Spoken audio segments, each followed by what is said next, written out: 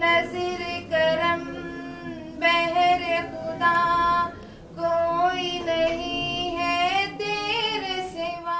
ضمنی انتخابات دو ہزار اٹھارہ میں صرف دو روز باقی۔ ملک کی دو بڑی سیاسی جماعتوں کا ضمنی الیکشن کا میدان فتح کرنے کے لیے مختلف تقریبات کا انعقاد۔ اس حوالے سے کیمپین کی آخری روز ڈیفنس وائی بلاک میں پی ٹی آئی کی جانب سے قرآن خوانی کا اہتمام کیا گیا، جس میں احسن ذکی سید فہد خاور رشید، سیدہ ہنا سمیت دیگر نے شرکت کی۔ اس موقع پر پی ٹی آئی کی خواتین پرجوش نظر آئیں، کہاں انشاءاللہ جیت ایک بار پھر پی ٹی آئی کی ہوگی۔ سو فیصدی ہمیں امید ہے۔